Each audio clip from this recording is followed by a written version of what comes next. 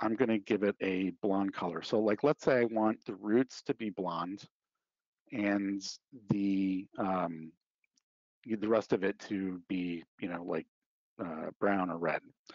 So I have this blonde one. Uh, I'm going to call that uh, blonde, and then I'm going to duplicate that node, and I'm going to call this uh, brown. And let's connect it here. And then change the melanin and um, also the redness to get the color I'm going for. And that might be a bit too red. So let's, I think we'll go with, let's see, do I want a higher pheomelanin? Nope, about, about here's good. Um, okay, now the cool thing is because these are essentially Redshift shaders, you can use, or uh, Redshift materials, you can use the material blender. So I'll bring in the material blender and let's see, the blonde will be the base and then the brown will be layer one and I'll connect that to the uh, to the output. Um, and I need to blend between these. And there's uh, a node that's ideal for this type of effect going from the root to the tip, and that is hair position. So if we search for nodes with the word hair, we have um, hair and principled hair, we've looked at those. We've looked at also some 40 hair attributes, but we have hair position, which I'll drag in, and hair random color, which I'll also drag in. And I always end up using a ramp, whatever I'm doing with materials, so I'll go ahead and add that for now. But let's check out hair position. I'm gonna connect the hair position node, which really only has these three checkboxes these are irrelevant because right now um, it's just outputting the same uh, information um, because of how Cinema 4D's hair UVs are created.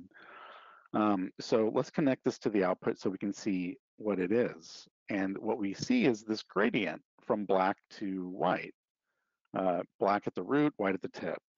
And because we don't have any controls you know, a ramp is ideal here. So I'll connect this to the ramp and then let's put that out to the surface. And now in the ramp, let's go here. I can now adjust where, uh, you know, where the hair is going to blend, right? Um, so we can like come back here. And now if I connect this to the material blender layer one blend color, and then let's put this into the uh, material output, then we'll see we got the blonde hair at the roots, and then at the tips, uh, we get the, the, the brown hair or the, you know, brown reddish hair. Um, and let's see, let me turn on the ponytail and the other lights and the background. And uh, let's say I turn on that ponytail, but it hasn't really updated. I'm gonna force the refresh here. And there's another node here, I put in out the hair random node. And it is, um, it's gonna allow us to introduce variation into the individual strands.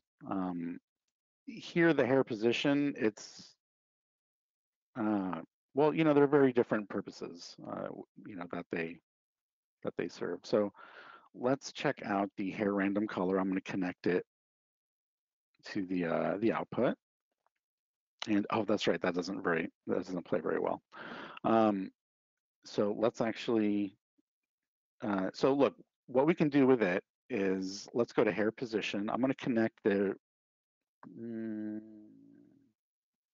I'm going to connect the hair position to the hair random color and then connect the hair random color to the um, output node. All right, so um, you know there is a color here, right? So we can set a color And then we can uh, randomize its hue, saturation, or value. Uh, so we can fiddle with the hue and the saturation uh, and the value or the, the brightness. Um, but let's take the hair position and instead of green, use that hair position. Okay, and let's say that I want, let's turn these down. Um, so I want some more variation along the length. I want some of the strands to be, um, to have more and less of the color. Uh, let's bring the hue up. I've noticed that the um, the greater these values, the more I sort of lose a lot of control uh, by way of the ramp. Um, and if I want to use this to blend between the two hairs, uh, let's take this. Um, let's see. We'll put we can put the ramp into that random color, but can we put the random color into the ramp? Let's see. Yeah, we can. Let's see what that looks like.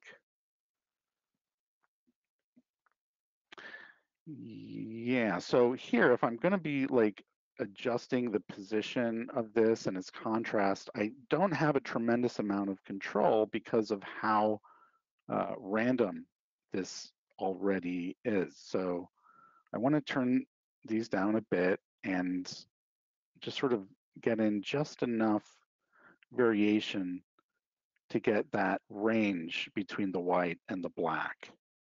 Um, and then I can you know, with the ramp, I can refine that. So we'll, you know, bring the ramp to essentially its uh, default gradient. And then you see at this point, it's just, there's no, there's not enough, um, there's too much contrast, right? So needed to be low. And then I can go into the ramp and I can bring the black in and I can bring the white in so that there's more white at the tips, and then I can refine um, just in little bits the um, like the the value amount or the hue and saturation.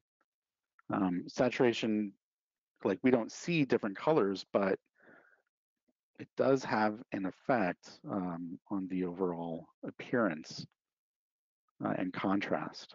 So uh, let's bring that back down like so. And let's go to the ramp and get some more uh, gray in here.